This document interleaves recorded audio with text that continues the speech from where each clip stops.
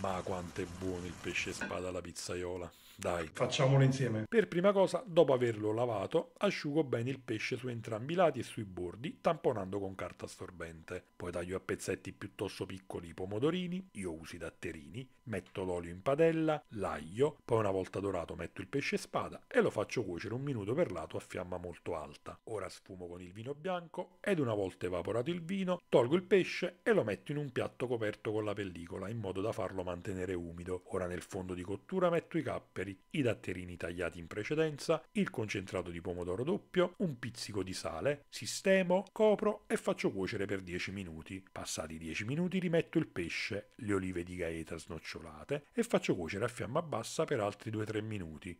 Poi spengo e metto l'origano. Eccolo qua. Guardate che bello. E dovreste sentire quanto è buono. Mamma mia.